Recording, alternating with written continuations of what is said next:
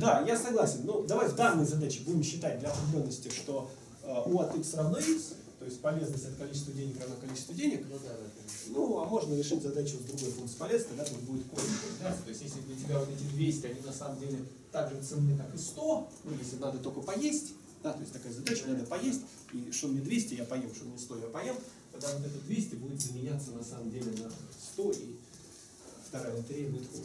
Вот. Ну ладно, э, хорошо, теперь давайте рассмотрим ситуацию, когда у меня накоплена одна красная карточка, и я снова выбираю порог.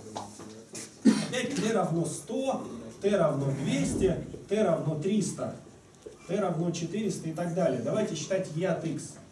Смотрите, что произойдет? Значит, если я выбрал порог в 100, то чему равен ожидаемый выигрыш?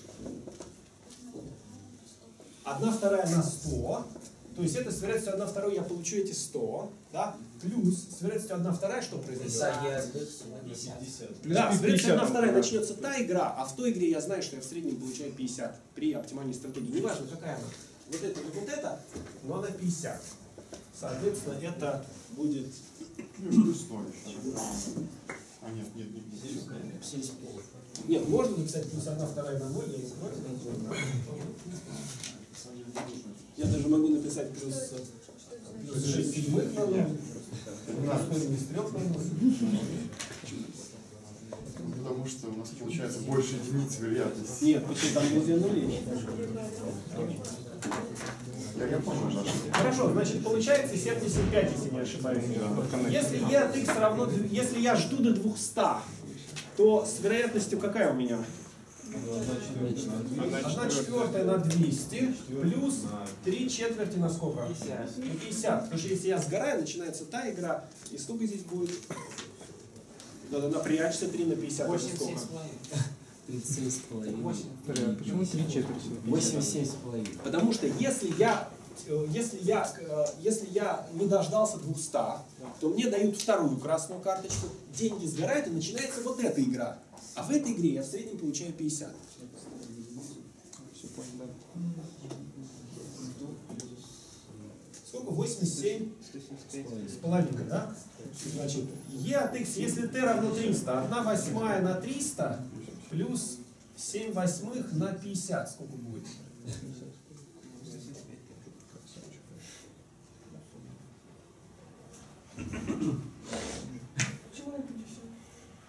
Почему на 50? Потому что во второй игре мы получаем стоит.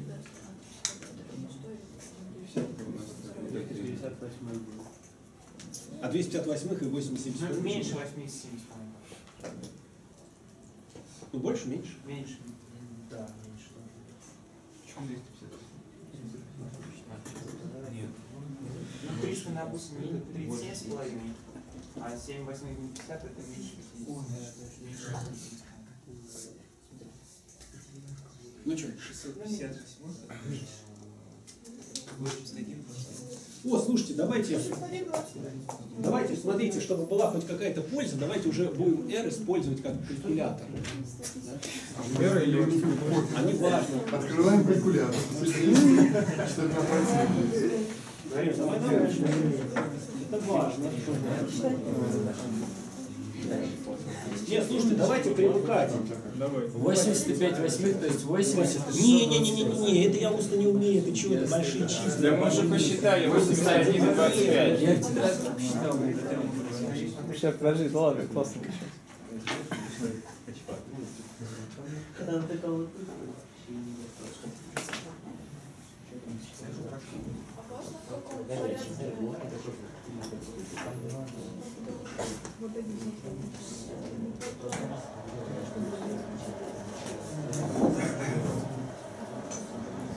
Нет, давайте будем. Вот смотрите, когда вы запускаете RStudio, можете запустить RStudio, у вас у всех есть такая возможность. А, Да, неважно. Вот. Соответственно, вы можете в консоли вот здесь, ну, делать старые вычисления. Значит, что нам надо сделать? Нам надо 300 поделить на 8 и прибавить 7 умножить 7 умножить на 50, деленное на 8, правильно? Вот. Получается 81,25. Да, быстро, вот, клево. Значит, а, соответственно, получилось меньше. Для 400 что произойдет? Больше, меньше будет? 400 на 16. Погодите, а будем решать? Не, ну видишь, сначала оно было не монотонным. Кстати, а вдруг там великий обман? Вдруг он вообще великий? Что? Вдруг там великий обман? и, Кстати, да. 71 там 8 875. Да, вдруг действительно, вдруг там великий обман, и ты вот это... Надо вывести А почему нам Я забыл, да? Аня, Аня, да? Вот Аня задает классные вопросы, прям вот настоящий исследователь. Аня. Потому что вдруг там великий, кто может объяснить, почему там не будет э, великий обман? и- А мне кажется, Можно проверить. Трудолюбивый. Можно функцию выделить и ее Можно в общем виде записать Просто слагаемое стремится к 50, а к нулю, и поэтому... Да, согласен, что можно так аргументировать. Можно даже посмотреть перевес первого слагаемого над 50, то есть выделить здесь 50, да, вот если я выделю здесь 50, а, то здесь будет 150, да, плюс 50, здесь будет 250 плюс 50, и тогда сумму можно записать как?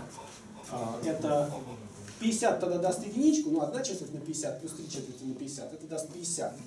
То есть это будет 50 плюс э, 150 деленное на 4.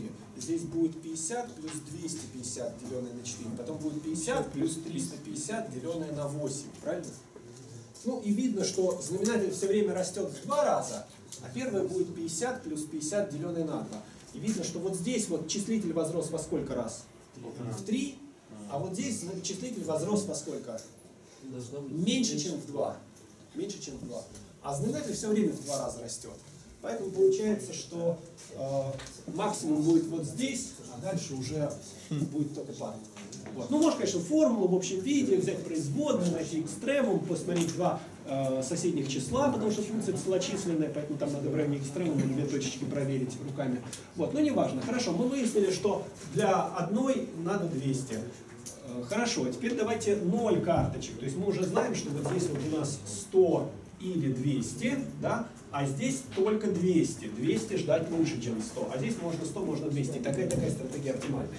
Вот. Ну и давайте на 300, что вернее, вот здесь. Если 0 карточек накоплено, то как выглядит?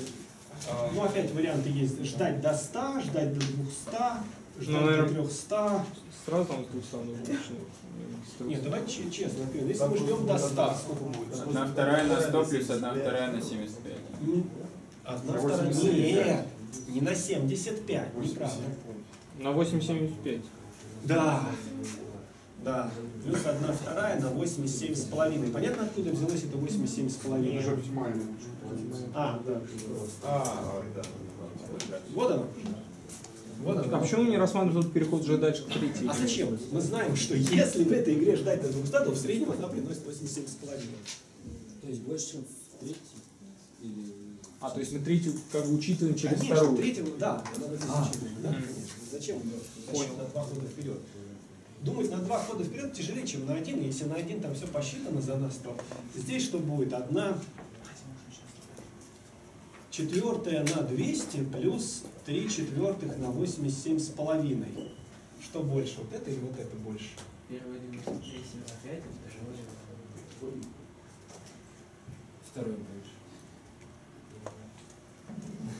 15, Да, первый будет. Давайте третий посмотрим. Значит, здесь будет 1 восьмая на 300 плюс 7 восьмых на 87 с половиной. Какая больше? Вторая, третья?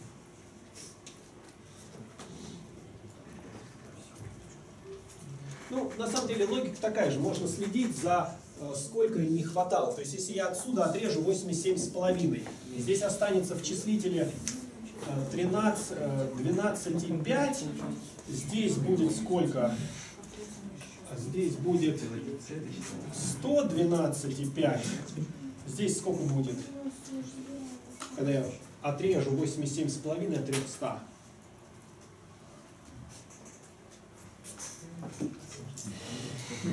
Ну, будет 212,5. Я вижу, что знаменатель все время растет в два раза, правильно? А числитель сначала возрос почти в 10 раз, а потом все-таки меньше, чем в 2. Правильно? Поэтому получается, что вот это вот будет опять оптимальным. Да, то есть мы выяснили с вами, что оптимальных стратегий в этой игре две. Одна оптимальная стратегия ждать все время до 200, такая простая стратегия, на 200 говорит стоп, беру приз. И вторая стратегия а, 200-200-100. То есть она означает, что на... Ну понятно, что, или не понятно. Да, понял. Что? А, так это хорошо. Хорошо, какие еще есть вопросы? А, ну и ожидаемый выигрыш чему равен? То есть там вопрос был найдите ожидаемую стратегию, чему равен ожидаемый выигрыш? Общий. Ожидаемый выигрыш общий, вот он, да? То есть вот это число, это будет ожидаемый выигрыш. Во всю- ну, изначально, во всю игру, когда на кону ноль красных карточек.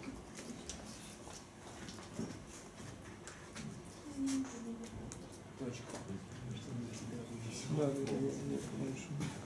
А средний выигрыш, если мы суммируем вот то, что у нас стратегии, и делим количество, да?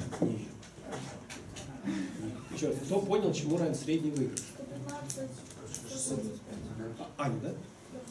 Да? А как посчитал? Ну, это вторая строчечка. Ну, конечно, эта вторая строчка, это и есть средний А, на шок, да, понятно. Так, хорошо. Да, и еще вопросы. С этой разобрались. Нормально? Да, конечно. Не, ну то есть дерево можно рисовать, но как бы надо...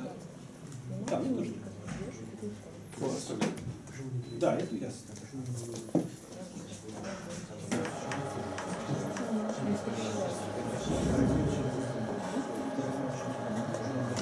На самом деле здесь легко составить нерешенную задачу.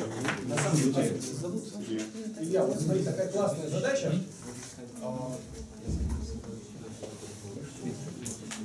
Нерешенная до сих пор. Вообще. Вообще нерешенная задача.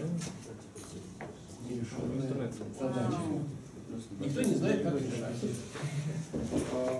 Такая, игрок подбрасывает монетку до, ну, до тех пор, пока не скажет стоп, и его выигрыш, ой, не надо мне говорить, что нерешенная. Мы быстренько сейчас решим. Ладно, я с другой группой попробую, только не говорите.